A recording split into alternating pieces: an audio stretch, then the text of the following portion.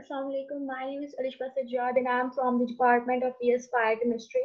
My roll number is 001. The topic of my presentation is capillary electrophoresis and mass spectrometry. Uh, basically, these techniques are used to separate ions components from the compounds or elements. Capillary electrophoresis have high separation efficiency in liquid phase. On the other hand, mass spectrometry have high separation efficiency in gas phase.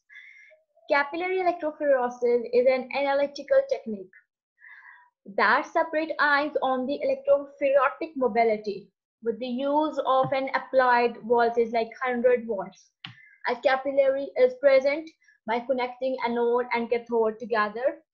The movement of components along the capillary is by two interactions, electrophoretic mobility and electroosmotic flow. The movement of components in capillary electrophoresis depends upon these two factors. Electrophoretic mobility, migration of charged particles in stationary medium under the influence of an applied electric field. The positive components move towards the cathode and obviously negative components move towards the anode. Electroosmotic flow, the interior wall of capillary contains charged sites created by the ionization of silanol groups on the fused silica.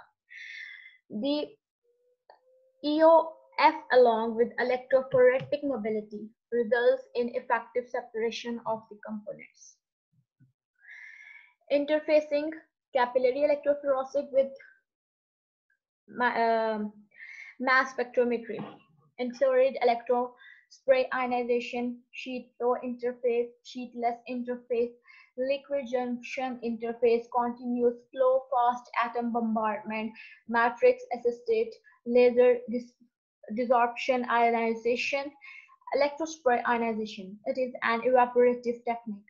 Sample, uh, sample introduced to the capillary. Uh, in electrospray ionization, it, uh, in tech, it is evaporative technique. Like this, we introduce uh, sample goes through capillary and capillary ki, and the tip of capillary mein high voltage hota will be applied. Jata hai. Nitrogen uh, is supplied as nebulizing gas, which helps to spray the sample analyte. Desolvation gas is heated nitrogen gas, which helps to evaporate the sample and it will produce molecular ion. Continuous flow fast atom bombardment can be coupled to FAB ionization uh, capillary electrophoresis can be coupled to uh, FAB uh, electro fast atom bombardment ionization using a continuous flow interface. The interface must, must match with the flow rate between the two systems. It requires high or, or high for high voltage for balance separation. Mass spectrometry. It is an instrumental technique in which sample is converted into rapidly moving positive ions by electron bombardment and charged particles are separated according to their masses like इसमें हम uh, masses को charge जो masses होते हैं उनको हम separate करते हैं uh, according to their masses organic molecules are bombard, bombarded with electrons converted into highly energetic positively charged ions. Then these ions are separated by deflection in magnetic field according to their mass and charge.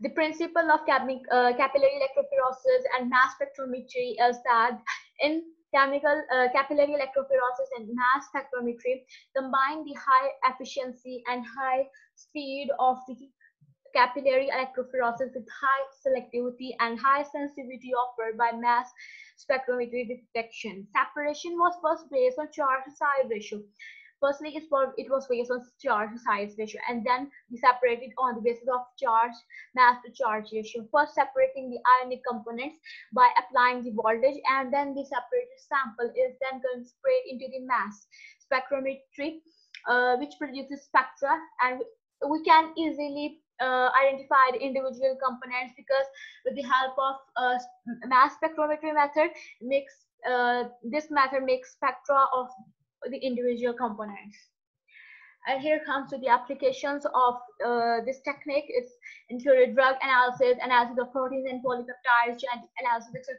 For example, like in drug analysis, it is easy to uh, it is easy to identify the uh, components include uh, amount of exact amount of components included in uh, are used in the drugs and analysis of proteins and peptides we can easily analysis uh, like uh, the proteins or polypeptides present in the food or other things like we can um, uh, easily um, uh, find individual components by using these techniques.